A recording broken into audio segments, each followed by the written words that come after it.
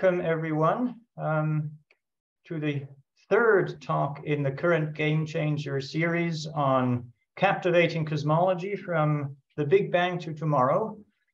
So my name is Mark Sargent. I'm the EC Science Program Manager.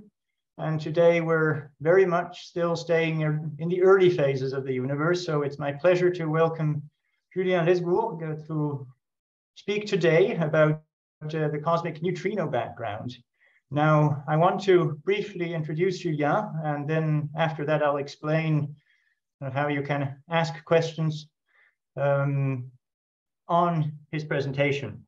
So yeah, Julien, um, as you may have seen in our newsletter, is currently professor in Aachen, professor for theoretical physics. He has been in Aachen since 2015. Julien obtained his PhD in uh, 1998 at the University of Tours. Within a couple of years, in uh, 2000, he had uh, secured one of these uh, CNRS permanent positions, which he took to the uh, university, or rather a, a laboratory in, in Annecy, um, where he worked for eight years, I believe, before moving to uh, Switzerland, to the western part of Switzerland, where he had positions at CERN and at the uh, EPFL in Lausanne. So yeah, Julien is a leading developer of numerical codes, simulating the uh, evolution of the universe on, on large scales. And uh, in case you are very captivated, in keeping with our seminar series title, by today's topic, you should also know that he has authored a Cambridge University Press textbook on neutrino cosmology. So yeah, I encourage you to check that out as well. Now, if you go and look at Julien's uh, website, his University of Aachen website, you will see that he has also been involved in various outreach activities. Among other things, I saw a three minute talk explaining the universe broadly speaking. He has more than that today, an order of magnitude more to uh, give us an update about the cosmic neutrino background, and we're very much looking forward to your talk, Julia. So for listeners who have taken part in this series in the past, you'll know how we deal with questions. For everyone else, uh, I just want to briefly describe the procedures. You uh, in Zoom can pose questions through the chat. Just enter your question in the chat. Or if you prefer, at the end of the talk, you can raise your hand and uh, Vili, our technician working in the background, making sure that everything works fine, will unmute you and then you can speak to Julien directly. But yeah, that's for after your talk, Julien. Um, please go ahead. The stage is all yours and I'm looking forward to hearing about the neutrino background. Thank you very much for the very kind introduction and uh, hi everybody. So I'm really happy to talk about uh, one of my favorite topics today, which is this cosmic neutrino background, which I think shows beautifully the interplay between particle physics and cosmology. And people who are not familiar with the topic are usually intrigued of how one of the lightest and less interactive particle that we know could play any significant role on the evolution of the whole universe? Well, this is a topic of the talk. I want to convince you that this is the case. And this is a talk that has been um, designed for a wide audience um, according to the requirement of this seminar series. So the starting point is to explain the basics of neutrino decoupling. The universe is expanding and particles are diluting which means that the interaction rates between particles in the universe tends to go down with time. In the early universe, interaction rates were usually assumed to be efficient, meaning that most particles were in thermal equilibrium with each other, sharing a common temperature. So for instance, if we imagine ourselves at a temperature of the order of a few mega electron volts in the universe, there was a thermal bath containing, uh, for instance, left-handed neutrinos and their antiparticles because they were interacting through weak interaction with electrons and positrons, themselves interacting with photons and many other particles. So we had the thermal bath in which necessarily the order of magnitude of the number density and energy density of neutrinos, electrons, and photons was the same. However, because of dilution, the weak interaction rate very quickly after became inefficient. And so at temperatures of the order of 1 MeV, neutrinos decouple from the thermal bath. And after their decoupling, they keep a frozen phase space distribution, meaning their number density as a function of momentum. And this phase space distribution kept the shape of a relativistic Fermi-Dirac phase space distribution with a peak here corresponding to typical momenta given by the neutrino temperature that has been scaling from that time until now like 1 over the scale factor in order to account for the dilution of neutrinos. So these neutrinos form the cosmic neutrino background that I will refer to as a nu B. And this was found through the simple reasoning very early on. The prediction of the cosmic neutrino background is due to Alpher, Follin, and Herman as early as 1953.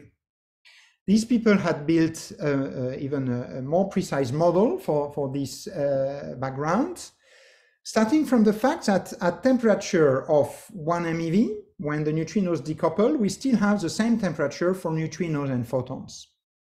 But then something very interesting happens when the temperature drops below 0.5 MeV, which is the mass of electrons. And this event is electron-positron annihilation, mainly into photons. If you study this phenomena at leading order, you will say that all the electrons and, and positrons annihilate into photons. They give their entropy to photons, and the photons are then reheated with respect to the neutrinos, which leads to this very famous relation between the temperature of photons and neutrinos that was already found in 1953. When you want to study this mechanism more precisely, you realize that there is a very, very subdominant channel. It's really a tiny, tiny amount of the electron and positron that provide entropy or energy to the neutrinos despite of the fact that most of the neutrinos have already decoupled at 1 MeV. But some neutrinos in, in the tail of the distribution are still not quite decoupled and they benefit a little bit, a tiny little bit of this entropy release, which leads to distortions of the pure Fermi-Dirac distribution of neutrinos and from this uh, approximate relation between T gamma and T nu.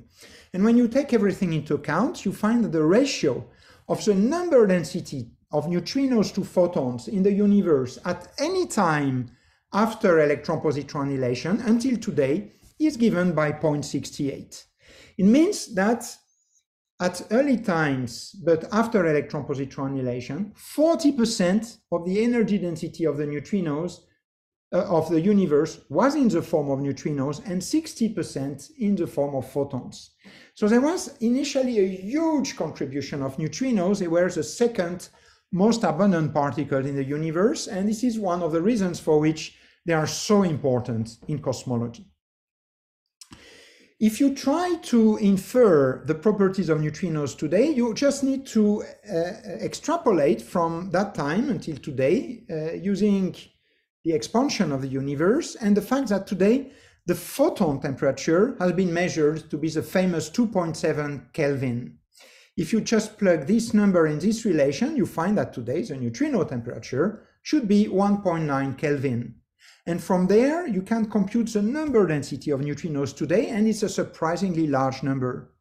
It is still about 340 neutrinos per centimeter cube in any part of the universe. So there are still many, many neutrinos around. This is a cosmological average. You could argue that around us in the solar system, this density should be enhanced because neutrinos have a small mass. This is something we will see more in details later on. The mass of neutrino is only important in the recent universe, but due to this mass, neutrinos tend to cluster a little bit in galaxies, which means that the density of neutrinos today around us, around the Earth or the Sun, is a bit larger than the cosmological average, but not much larger. And to compute this number, you need actually to know the mass of each neutrino species. And then you would find, for instance, that a neutrino species with a mass of 0.05 electron volt, which is a relatively realistic number, would have a number density enhanced due to uh, gravitational attraction inside the Milky Way by about 12% at the position at the sun. So you see it's a really small enhancement with respect to the cosmological average. When you know the temperature, you immediately know also the average momentum of neutrinos, and you find a very, very small number of the order of 10 to the minus 4 electron volts. This is considerably smaller than the momentum and thus the energy of the neutrinos that we usually detect from the sun or from cosmic rays with instruments like Super Kamiokande or IceCube. Those neutrinos having a much larger energy can be seen using scintillators, photomultipliers. There are lots of techniques which unfortunately would not work for these cosmological neutrinos. Those are way too, um, have a way too weak energy and momentum.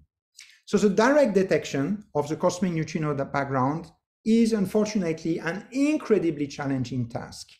There have been some very smart ideas of how maybe we could build instruments detecting neutrinos. There were many interesting ideas also in the 20th century, people proposing some effects and some instruments to measure it. I don't have time to go into details. Today, the instrument which seems to be the best position to measure directly this background would be Ptolemy. Ptolemy will study tritium beta decay. And what is very interesting here is to study the excess in tritium beta decay stimulated by uh, cosmological uh, neutrinos. That is, when cosmological neutrinos hit a tritium atom, then they will stimulate some beta decay, and you will see a little feature then in the, the spectrum of the produced electrons. But this feature would be very small. It would be very difficult to detect. You would need very uh, good energy resolution in your measurement of the electron spectrum. And so Ptolemy will have to face various issues. Are neutrinos heavy enough to be detectable? Are they dense enough around the Earth to be detectable? And are these instruments really going to work, given that you, you need really to beat some uh, various kind of noises and even some kind of quantum noise coming from the just Heisenberg uncertainty principle, which will make this uh, measurement very difficult. So eh, many people are skeptical that Ptolemy will see the cosmic neutrino background. Maybe it will. Maybe another experiment, even more um, sensitive, will do it in the future. But this is not the topic of our talk.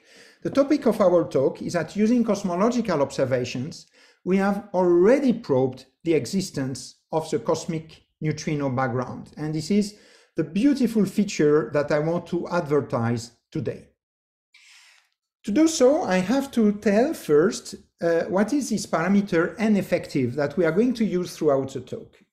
This is the so-called effective neutrino number. In fact, it's a cosmological parameter, just defined as the energy density of neutrinos, plus possibly the energy density of any other light or massless particles that could exist in the recent universe on top of neutrinos and photons. And then if you express all this energy in units of the energy density of one neutrino family, computed neglecting the release of entropy from electron and positron into neutrinos, then you get your N effective. So let's simplify this a bit. This effect of electron-positron uh, reheating the neutrinos is negligible. So more or less, we can say that the denominator here is the energy density of one neutrino family. And we expect to have three neutrino family, or if you prefer, three neutrino mass states, mass eigenstates. So this ratio should be three to one. And indeed, we expect N effective to be approximately three in the standard cosmological model. When you compute subtle effects of neutrino decoupling and of electron-positron annihilation, including really an involved calculation that takes into account different neutrino flavors and neutrino oscillations in the early universe and quantum electrodynamical effects, you arrive to a number which is a little bit different, 3.044, but it's essentially 3. And nicely, we are going to talk about cosmological observables that are sensitive to this N effective. And it gives us an opportunity to check if the cosmic neutrino background is really around, meaning NF equals 3, or not, meaning NF equals 0. Next, neutrinos behave in a special way in the recent universe as a fraction of dark matter. Because we know from neutrino oscillation experiments that at least two neutrino uh, families have a mass. And this is because the temperature of neutrinos today is measured or is predicted, I should say, to be smaller than the delta m square measured by atmospheric or solar neutrino experiment. And this is a proof that at least two neutrinos are non-relativistic today. And then neutrinos had a transition from the relativistic to the non-relativistic regime in the recent universe, typically during the so-called matter-dominated era. So today, they must be a component of dark matter because they are non-relativistic and non-interacting. But we know that they cannot be most of the dark matter because most of the dark matter has to be cold, which means with small particle velocities. And neutrinos cannot fall in this category. Neutrinos became non-relativistic recently. It means that even today, depending on the value of their mass, the velocity could be one or two orders of magnitude smaller than the speed of light, but not much less. So neutrinos still have huge velocities today, and for this reason, they are forming what people call hot dark matter, and they are only thought to be a small fraction of the dark matter. And to know how small this fraction is, you need to introduce a second cosmological parameter that we call omega nu. And this is simply the total energy in the form of neutrinos today relative to the total energy density in the universe. And after a little bit of work, you find that this parameter omega nu is proportional to the total neutrino mass in very good approximation, where the sum holds over the three neutrino eigenstates, M1, M2, M3. Given that we have measured neutrino oscillations, we have a lower bound. We don't have an, uh, an upper bound on this number. Oscillation do not probe the absolute neutrino mass scale, but we have a lower bound on the total mass. And using this lower bound, we know that omega nu is at least 0.005, which means that today at least half a percent of the energy density of the universe is in the form of neutrinos. It's much less than the 40% in the early universe, but it is still a lot. And it still means that neutrinos today are still the fifth densest species in the universe according to the standard cosmological model. They are the fifth after the cosmological constant, the cold dark matter, the atoms, and the CMB photons. And this is in terms of energy density. In terms of number density, they are still the second most abundant species after photons.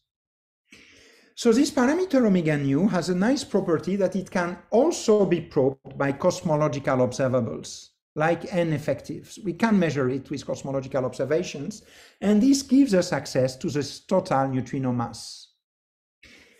Okay, so now what are the kind of cosmological observations that we can use in order to make these measurements? Well, there is a very famous measurement of the map of temperature and polarization fluctuations in the CMB.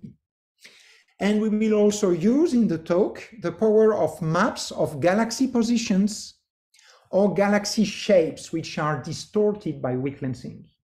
From all these maps, the job of observational cosmologists is to infer statistical information which is best summarized at leading order by a two-point correlation function for each map that we call the power spectrum. So there is a map, there is a power spectrum of temperature and polarization in the CMB that has been best measured by the Planck satellite.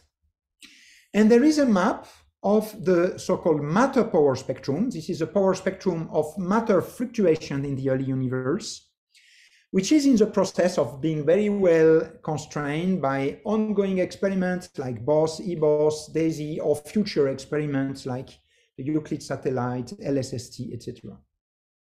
And these experiments are very sensitive to many cosmological parameters, especially if you combine them with complementary information from other types of observables, like what people call distance ladders. Distance ladders are a clever way to put together information we get from especially the luminosity of Cepheids and supernovae in order to measure the expansion rate in the universe, the Hubble rate, the acceleration rate of the scale factor, etc. And also from these large-scale structure experiments and the measurement of the matter power spectrum, we can extract some robust geometrical information that tell us about the expansion of the universe, of the recent universe. And a very powerful technique is called the measurement of the baryon acoustic oscillations, which are small observation oscillations that can be observed in the matter power spectrum and that rely on the same physics as the oscillation in the CMB spectrum, that is to the propagation of acoustic waves in the early universe. So these experiments are complementary to CMB and large-scale structure experiments.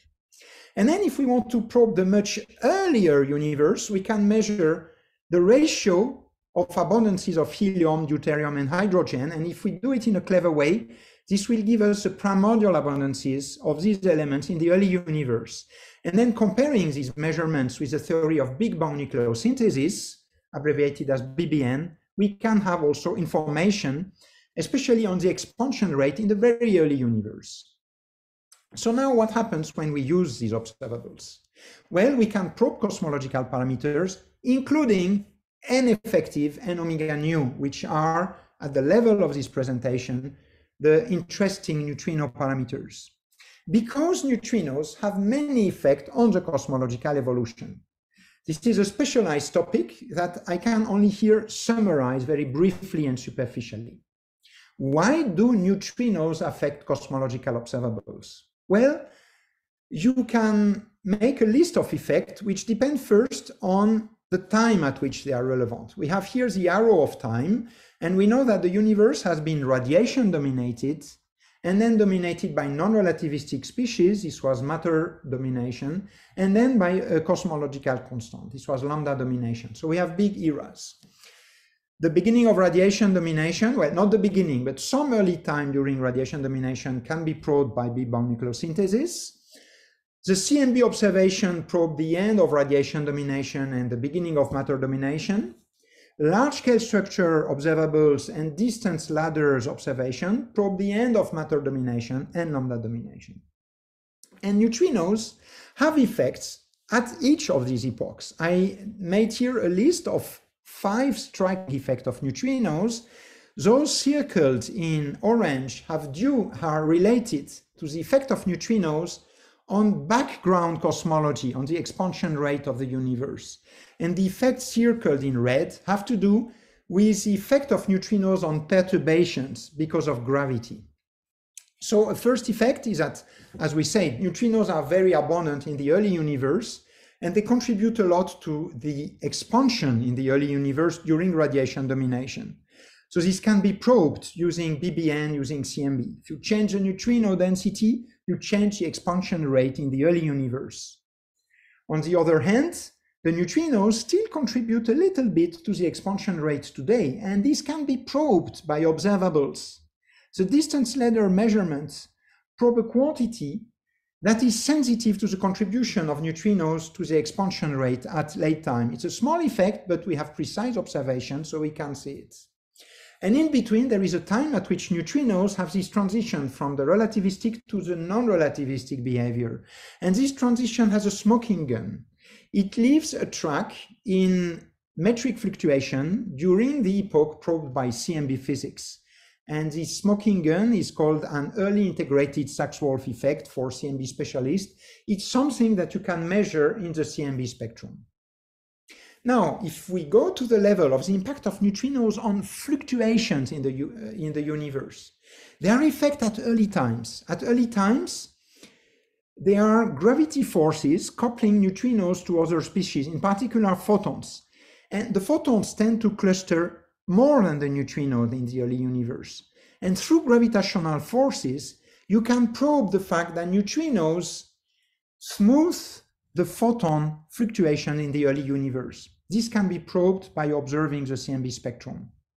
On the other hand, at late time, neutrinos have an effect called free streaming that I will describe more later on. It means that through their diffusion processes, they remain very smooth and they slow down the growth of the fluctuations of dark matter. And we will see later that this effect is very important and can be used to probe the neutrino mass.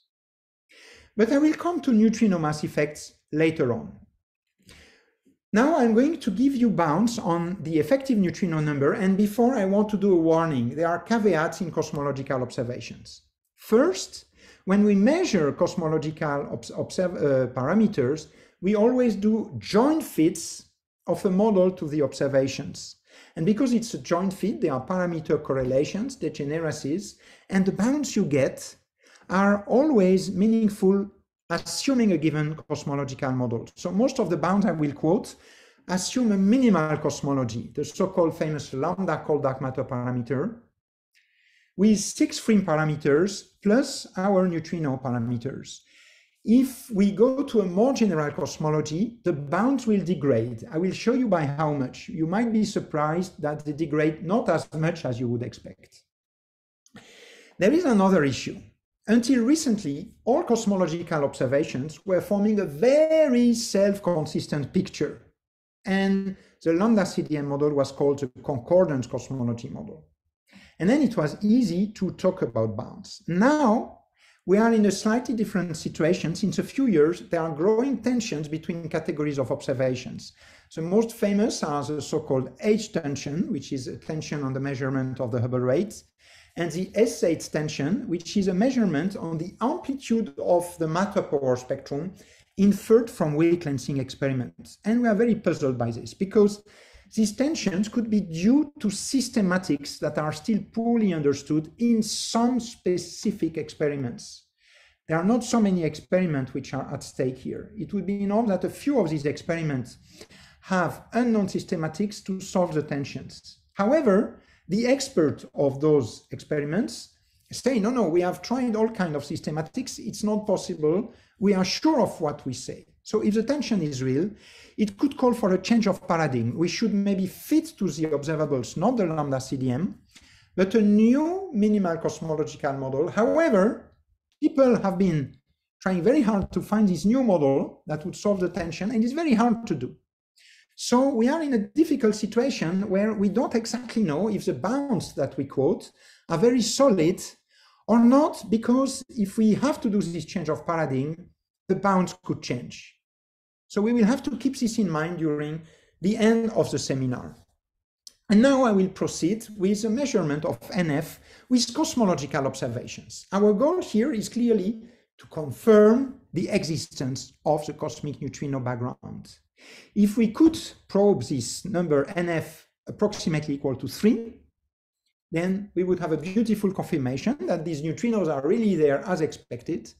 If we find a different number, it would be also very interesting. It would probe at new physics, and it could be new physics in the neutrino sector. It could be because neutrinos have new interactions on top of electroweak interactions that change their decoupling.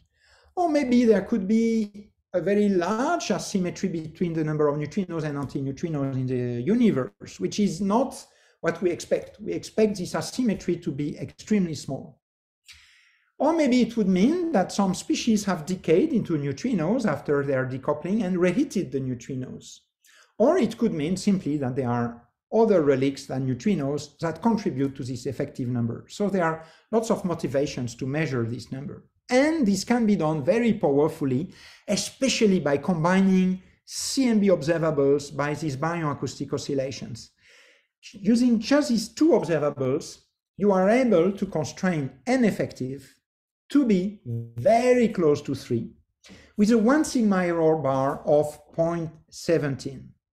This is a result from a few years ago, and it's amazing because it's so consistent with the standard prediction.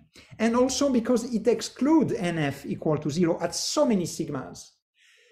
So of course, this number has to be taken with a grain of salt. It's obtained in a minimal cosmology. But when you just complexify a bit your cosmology, you add more ingredients on lambda CDM.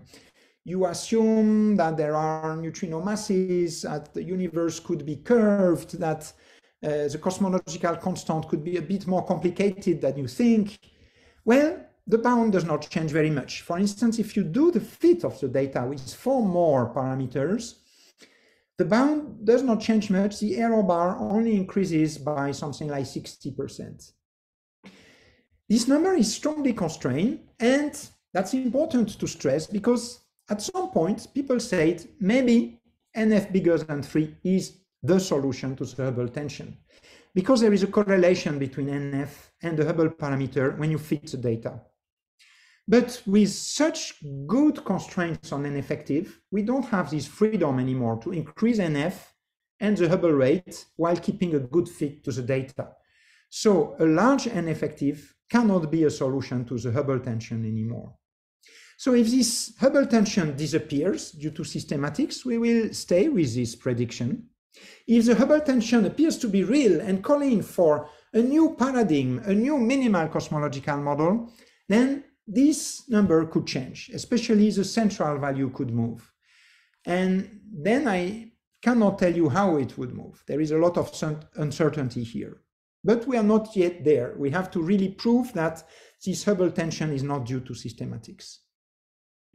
We can compare this measurement from CMB and BAO from another completely independent measurement that comes from big bang nucleosynthesis using uh, helium and deuterium abundance measurements. And then with this completely different technique, you get a number which is in beautiful agreement with the first number, 2.89 plus or minus 0.23.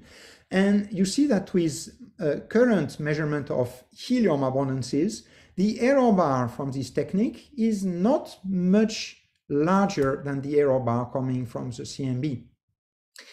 So this is remarkable that we have such a good agreement between these two numbers because they really come from very different physics. When you talk about the CMB, you talk about hydrodynamics of fluctuations in the universe at temperature of the order of a few electron volts. When you talk about Big Bang nucleosynthesis, you talk about nuclear physics in the much earlier universe at much higher energy. So the fact that these two numbers agree so well with each other is amazing. It's a big success for cosmology. And maybe it's telling us that we should not worry too much about things like the Hubble tension, but this has to be confirmed on, the, on a longer time scale. It also means that there has not been any funny physics going on between the time probed by CMB and Big BN observations, because you could imagine that between Big Bang nucleosynthesis and photon decoupling, that is CMB time, there, there is a lot of evolution in between. There is a long era. You could imagine that during this era, some funny thing took place, and there was, for instance, some particles annihilating or decaying and giving entropy to neutrinos. And in this case, you would not find the same N effective with the two types of experiments, but this is not the case. So these exotic scenarios are now very constrained. So does this mean that we have observed the cosmic neutrino background? Well, for sure, measuring NF close to 3 is a perfect match to standard predictions. But still, this does not prove that the particles contributing to the NF of 3 are neutrinos, because it does not give a hint of the intimate nature of the particles contributing to this background. However, it still tells us a lot. It tells us that this background is most probably due to particles decoupled, decoupling at temperatures of the order of the MeV. Because if this background was due to particles decoupling much earlier in the history of the universe, then there would have been many more energy release into photons after those particles decoupled, and they would contribute to a tiny NF. Remember that NF has been defined and normalized relative to what we expect for neutrinos. So the fact that we see NF just of the order of one is already telling us that this is a background of particles which most probably decoupled at temperature of the order of a few MeV. And then we have more information than just a measurement of NF. When we look at fine details in the spectrum of the CMB, we can prove that the particles responsible for NF equals 3 are particles that were decoupled at CMB time. that is, that we're free streaming. If not, the CMB spectrum would look a little bit different. And this is again compatible with neutrinos. Neutrinos are expected to free stream at temperatures below 1 MeV. The CMB time is at temperature around 1 EV. So yeah, we expect these neutrinos to free stream. So it fits very well. And moreover, the fact that we find precisely three is incredibly consistent with the standard model, which relies on precisely six fermions, each of them with one chirality, because only left-handed neutrino and their antiparticle are in, in the universe. So we have a proof that we have these six fermions with one chirality that should give NF equal to three to be a very big coincidence that NF equal to three comes from something else than our three standard neutrinos. When I say six, I mean, of course, three neutrino species and their three antineutrinos. Okay, so it's an indirect proof of the existence of the CNUB, but it's a very convincing one, I think. And using CMB observations, you can keep probing properties of the, these neutrinos. For instance, you can try to put a limit on self-interaction of neutrinos. In principle, neutrinos should be completely decoupled below 1 MeV because weak interactions are inefficient. You could say, oh, maybe neutrinos are interacting with some kind of dark sector with additional types of interaction. Well, maybe cosmology would see this. And indeed, you can put bounds with CMB observations on this exotic kind of interaction. And they are not observed. There is a bit of controversy about this. I could talk more about this if you, if you wish, but um, most of uh, the experiments of the cosmological observation suggest that there are no neutrino self-interactions as we would expect from the standard neutrino model.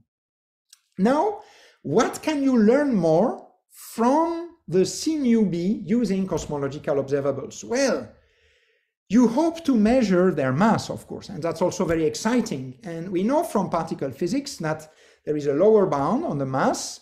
Uh, given a neutrino oscillation experiment, we expect that neutrinos belong to one of two scenarios. One is called the normal hierarchy neutrino mass scenario. It predicts one heavier and two lighter species, simplifying a lot. And if this scenario is true, the total neutrino mass should be at least 0.06 electron volt. And there is an inverted hierarchy scenario with two heavier neutrinos and a lighter one, predicting a total neutrino mass of at least 0.11 electron volt. So experiments, cosmological observations are sensitive to this total neutrino mass. And nowadays, the bounds we have come mainly from what I called in a previous slide, the background effects of neutrinos. This background effect of neutrinos can be probed using the CMB, using baryon acoustic oscillations, and this is enough to give an upper bound at the 2 sigma level of 0.26 electron volts, using mainly Planck data information. That's amazingly constraining. You see that it's not very far from the lower bound. So this is a very impressive also uh, constraining power of cosmological observables. You can make the constraining power even bigger if you combine CMB observation with baryon-acoustic oscillation. Then you get 0.10 electron volts. You can be even more aggressive. You can use some information from supernova luminosity or from a kind of observable which is very interesting, which is called Lyman alpha forest. It has to do with absorption features in the observed spectrum of quasars. And with this more aggressive type of analysis, you can even get an upper bound of 0.087 electron volts, which is very close to the lower bound here, and even below the lower bound of the inverted hierarchy. So it's only a two sigma bound. We have mentioned lots of caveats, model dependence of cosmological bounds. So we should keep uh, conservative. This is not the proof that the inverted hierarchy is excluded, but it brings strong evidence in favor of the normal hierarchy. The inverted hierarchy is put in strong tension by cosmological observables. What happens if we add more freedom in our cosmological model? Well, for instance, people have proved that if you take the minimal cosmological model and you add four more free cosmological parameters, you lower your bound by a factor of four. So yeah, it's much looser, but it doesn't mean that the bound goes away, that the sensitivity of the data goes away. And that's remarkable. It, it's, it's a case because we have a lot of precise cosmological observations now. So we cannot just evade the bound by making the cosmology more complicated. And with a factor four, these bounds would still be much stronger than what we get from laboratory experiments. Then, of course, if the Hubble tension is true and really calls for a change, a complete change of paradigm, a shift in the, in the minimal cosmological model, then I don't know what to say. It could be that these bounds would evolve in the future. It could be that they relax. And I don't have a definite answer on this. So there is always this caveat that if the Hubble tension gets confirmed, then maybe there is something we don't understand in the standard cosmological model. And if we would understand it, the bounds would change, maybe significantly. All right, so um, these bounds on the neutrino mass are very interesting for particle physicists because they are so sensitive. Cosmology is more sensitive than laboratory experiments trying to measure the, uh, the absolute neutrino mass scale, like these tritium beta decay experiments, like KATRIN, or the neutrino-less double beta decay experiment that might give very interesting results, especially if neutrinos are Majorana particles. So cosmology is more sensitive, but it's more model dependent. So we are very happy to have these two kinds of observables, cosmology and laboratory experiment, because there is really an interplay between them. We need both in order to get fully convinced of the neutrino masses.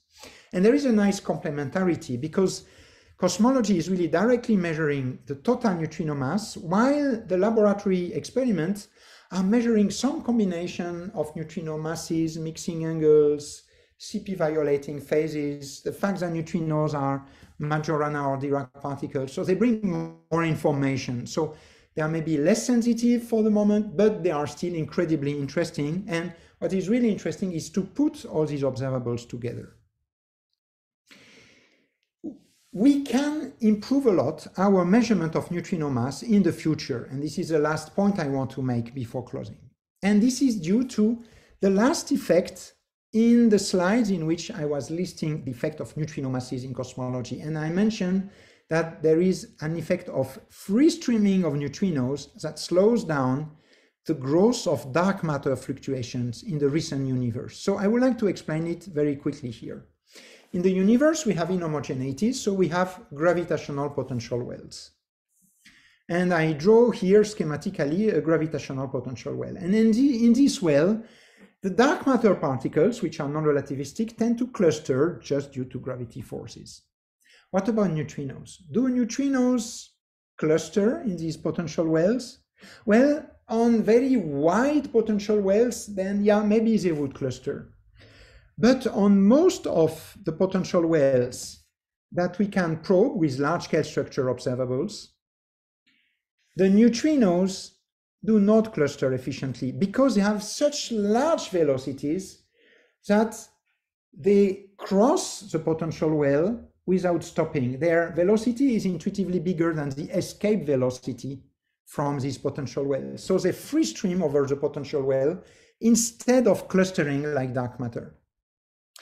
Now, if we want to study dark matter clustering in the recent universe, we need to compute the dark matter clustering rate. This clustering rate is observable with large-scale structure experiment. We can see how fast the dark matter has clustered between CMB times and the different times probed by a large-scale structure experiment.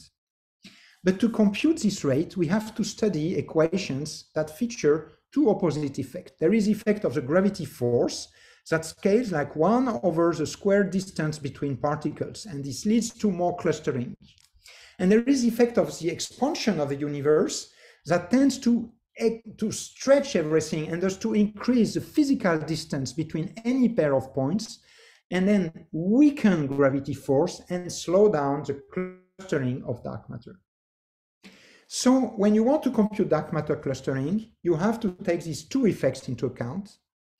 And you realize that when you add massive neutrinos to the game, something very interesting occurs. You break the balance between gravity and expansion. Why? Because neutrinos do not contribute to extra clustering just because they free stream, as we just said, but they do contribute significantly to the expansion of the universe and to the red effect. So you break the balance between the yellow effect and the red effect, and this leads to a slowing down of the growth rate of dark matter, which at a given time is a very small effect, but this effect gets integrated over a very long amount of time, all the time needed to form structure, essentially most of matter domination and lambda domination. So because this effect cumulates at the end of the day in the recent of uh, uh universe, you expect that the presence of neutrinos suppresses the clustering of dark matter by at least 5% in the most pessimistic assumption, which is the assumption of a total mass of 0.06 electron volts. If neutrinos are twice heavier, then the effect will be a 10% effect. So it's a sizable effect.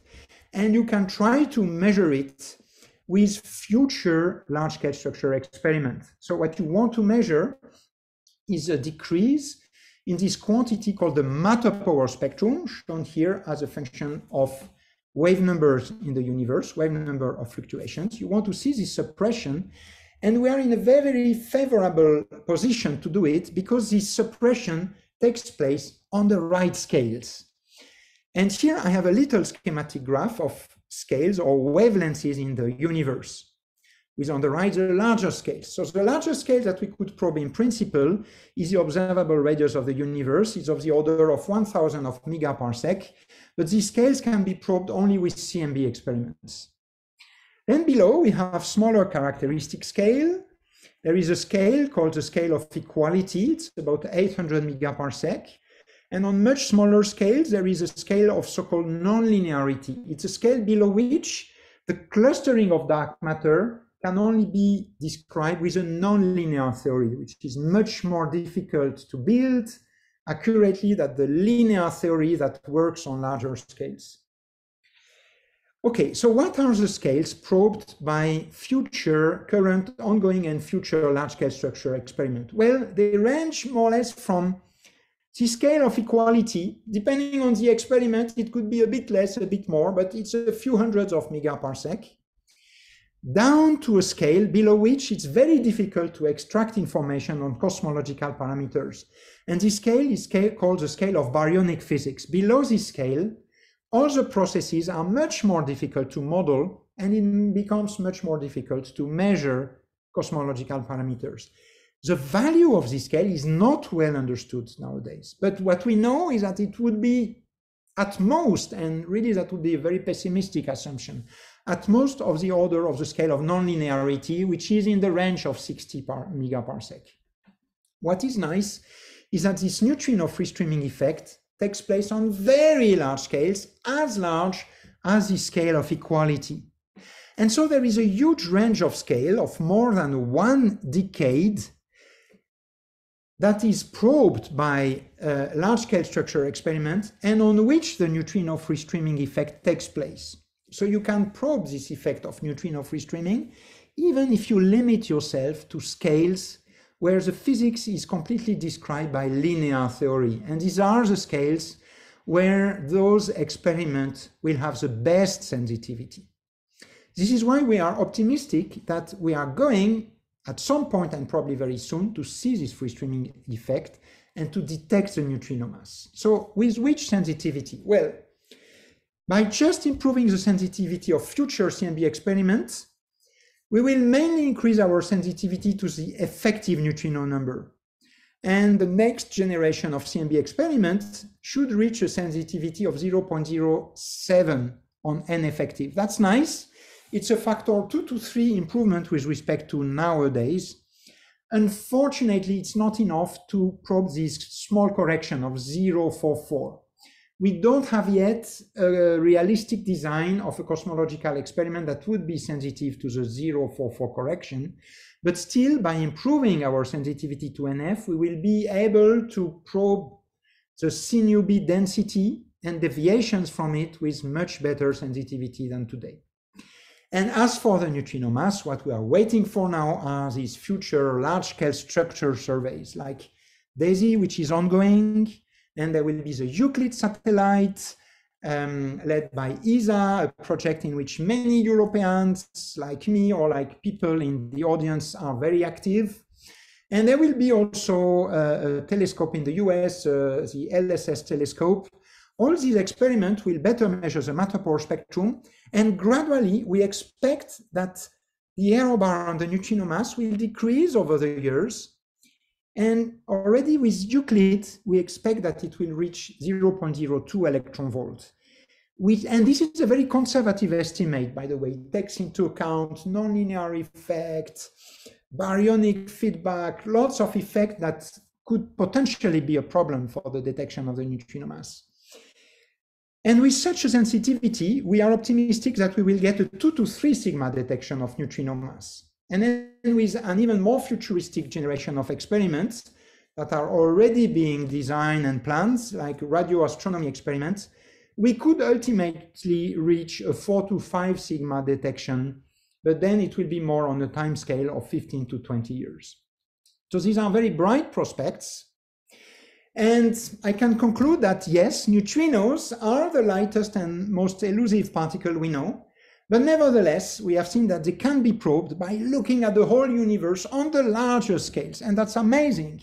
And the reason, in fact, is that the individual energy density of neutrinos is tiny due to their small mass, small temperature, but the collective effect is huge because we have many, many neutrinos around. And that's a key point, in fact.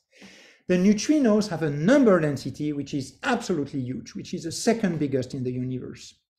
So people often say, oh, it's really surprising. Neutrinos, they are supposed to be something small that matters only a little bit. And you tell us that in cosmology, they play a big role. Why is it so? Well, it's because they are in a perfect situation to have this large number density because most other particles have a small number density because they annihilated at some point when they became non-relativistic, when their temperature dropped below their mass. And that's the case of most of the particles we, we know. They, they became non-relativistic at some, some point, and pairs of particles and antiparticles annihilated into photons or other things. But this is not true in the standard cosmological picture. Uh, and if you don't complicate the particle physics model too much, this is not true only for two species. It's not true for photons because they are tota totally massless and thus totally stable. They cannot decay into something lighter. And neutrinos, because neutrinos, yes, they become non-relativistic, but because they are weakly interacting, they decouple early and so they become non-relativistic after their decoupling. And thus, when they become non-relativistic, they cannot annihilate anymore. They are protected. And this is why neutrinos and photons are so much more abundant than any other species in the universe. And this is why also they can be probed so well with cosmological observables. And this is my final word. Thank you very much for your attention and I would be delighted to answer your questions. Yeah, thank you very much for this presentation. I'm sure the audience and me very much so as one of the members of the audience will have appreciated your very helpful conceptual timelines and view graphs. That was really um, super to understand the, the key concepts. And uh, I'm sure the audience also shares the enthusiasm you have and uh, you have convinced the audience that the best, the, the golden age of neutrino cosmology is still to come, especially with your probably not the audience. We will see from the questions. I'm not sure. I'm sure I'm not convinced all the all the audience, but we shall see. If you have doubts, uh, that's the right time to to raise your to make your point. All right. Um, that uh, is a perfect transition to again just summarizing how you can ask your questions. Um, so you can post them in the in the chat thread uh, or simply raise your hand. Um, I see there is already one raised hand. So Willy, do you want to unmute Hans Zinnecker if you don't mind? Hans, you should now be able to speak. Yeah, I, I am unmuted. So I understood that neutrinos uh, slow down um, the dark matter clustering. That's my question is related to this. If there is no dark matter, as for example, theories like MOND suggest, or scale invariant theories of Andre Maeder, is there an effect or what would that mean? Very good. So um, you know that this is a very controversial issue, and I don't expect that you will agree with everything I answer.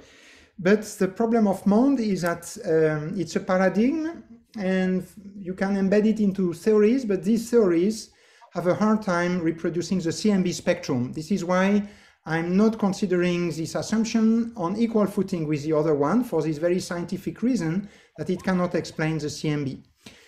However, when people tried to uh, fit CMB with Bekenstein theory, which uh, embeds MOND, and at some point uh, they could do it to some extent because the CMB data was not very precise and because they were also rescued by assuming a very large neutrino mass uh, of the order of three electron volts, which is now excluded by direct laboratory constraints and CMB observables.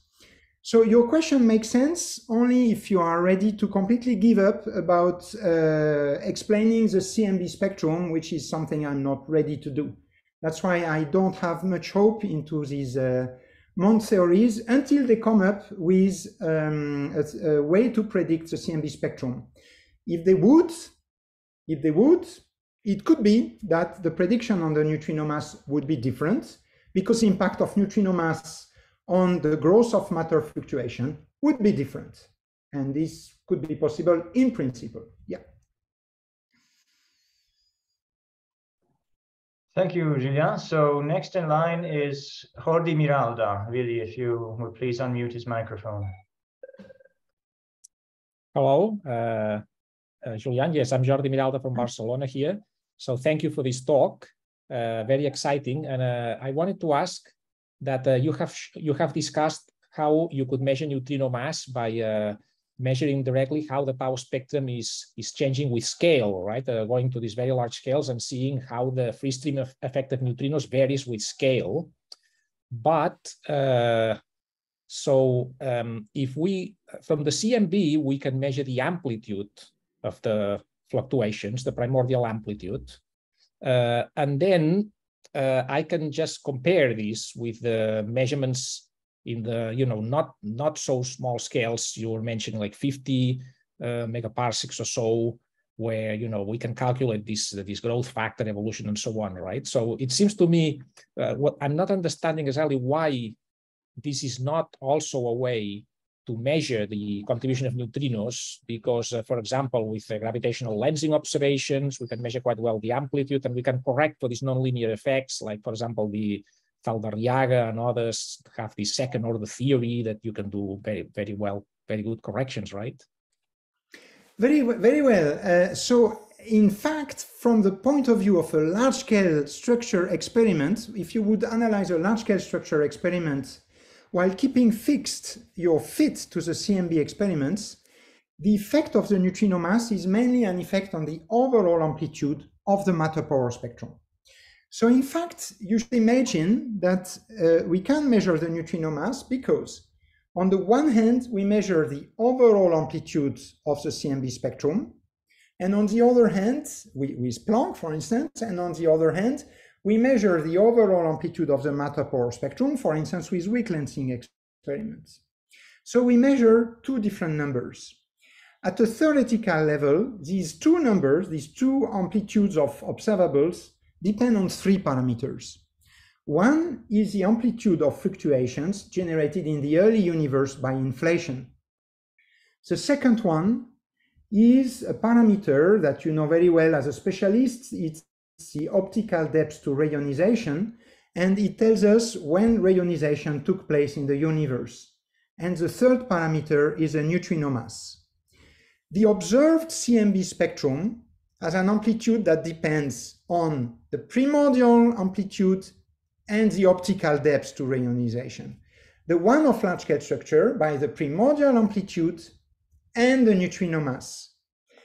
Since you have two observables and three numbers, it seems that one constraint is missing. And the constraint you need to use is on the optical depth to reionization. And fortunately, this optical depth is already well measured using CMB experiment and especially the polarization spectrum, and will be better measured in the future with radio astronomy experiments. And that is a key to fix this optical depth to reionization. That is a key to the neutrino mass because then the amplitude of the CMB will only depend on the primordial parameter AS.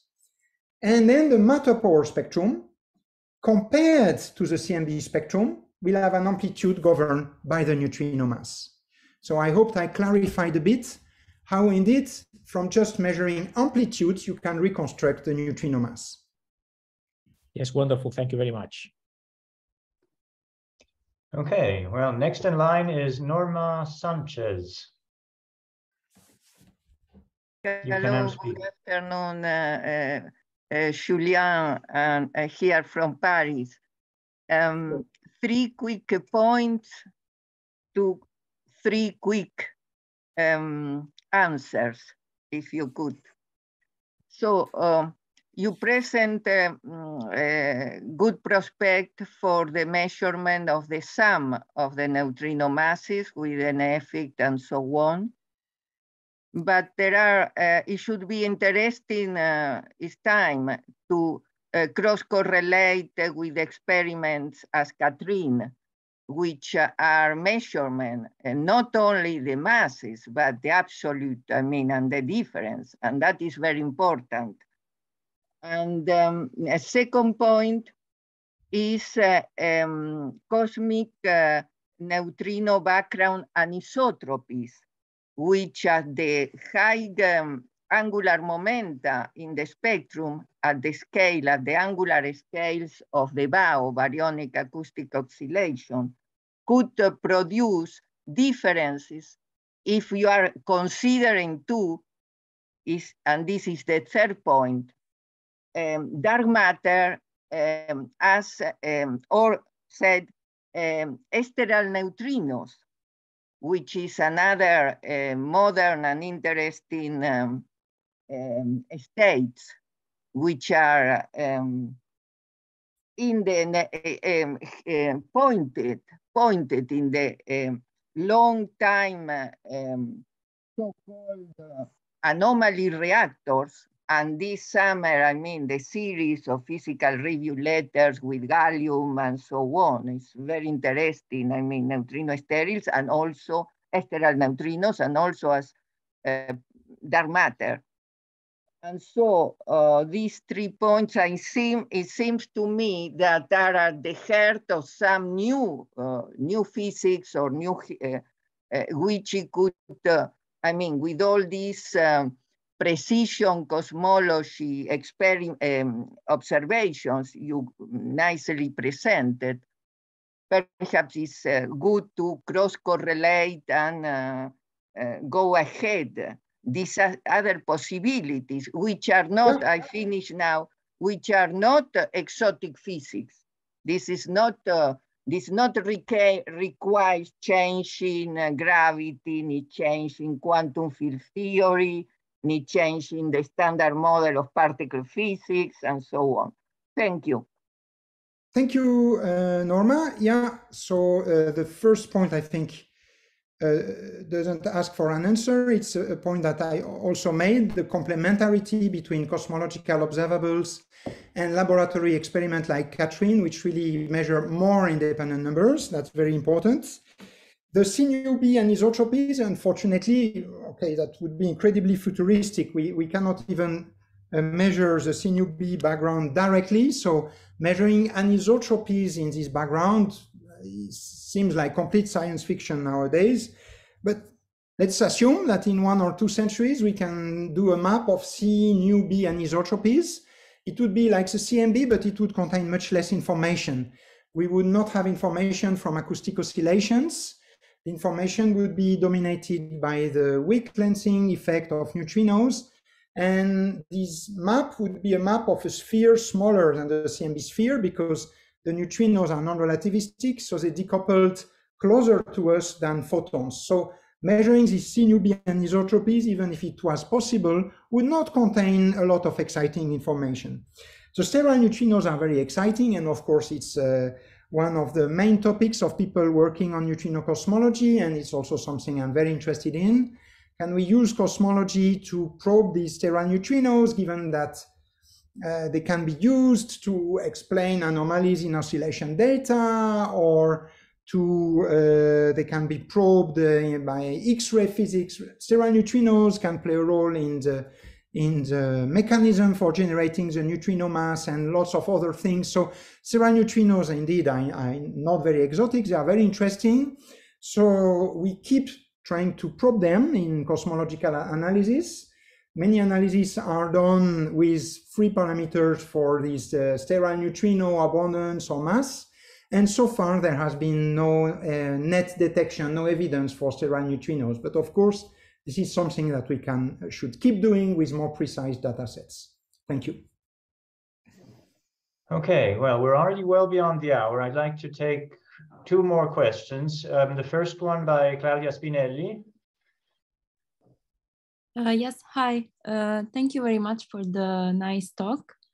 Uh, I would like to ask, um, how should we expect the neutrino free streaming to affect the galaxy cluster number density and at which scales? More on the cluster scales, more on the less massive uh, structures?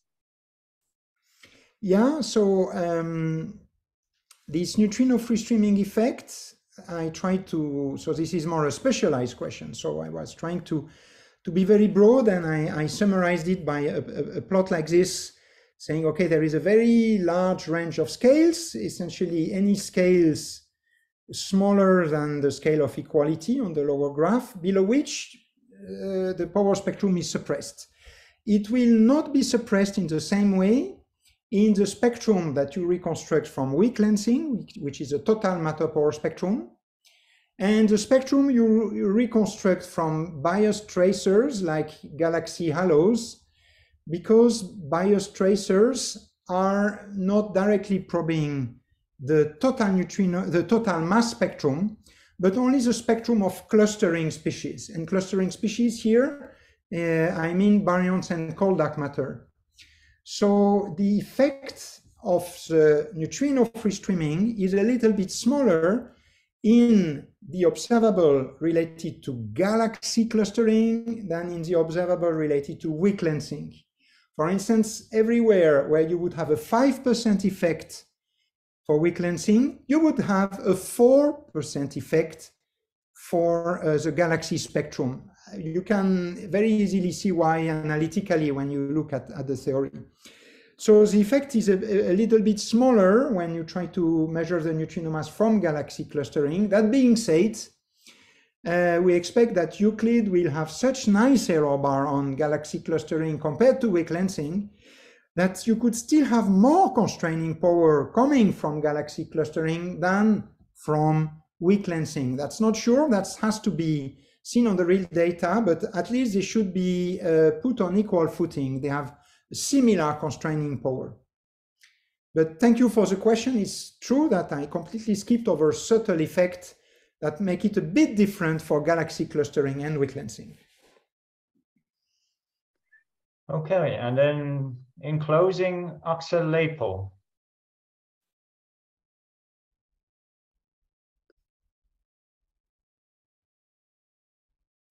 Axel? You should be able to unmute. Uh, Axel, you have speaking has been enabled for you.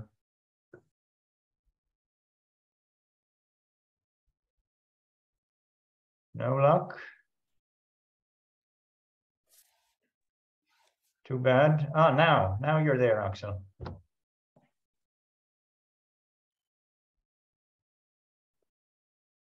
You appear as unmuted, but we can't hear you, unfortunately.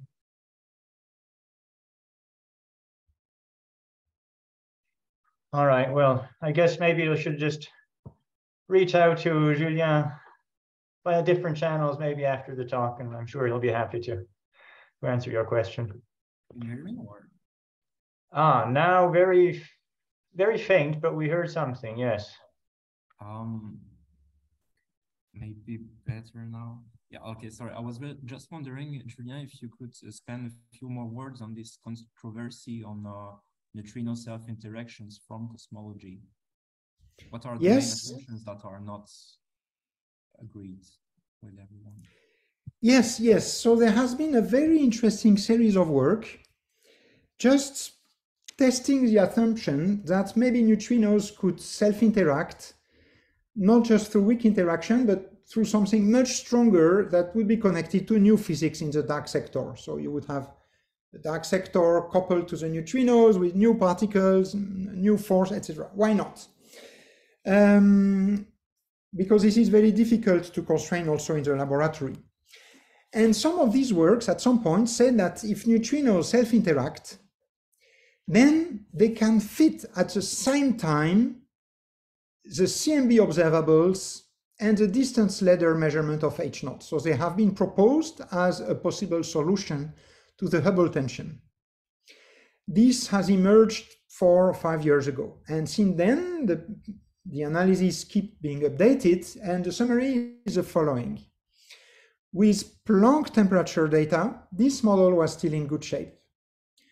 Planck polarization has kind of killed the model Planck polarization implies that the self-interaction should be so small that it can no longer help reducing or solving the Hubble tension.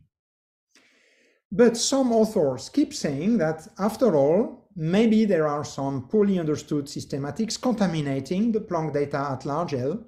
And so they keep doing analysis, removing high L Planck data and replacing it by recent data from other probes like the Atacama um, Cosmology Telescope, ACT, or the South Pole Telescope. And it happens that the Atacama, uh, the ACT uh, data is very well compatible with this model. So you could buy the fact that there was a problem with Planck at large L.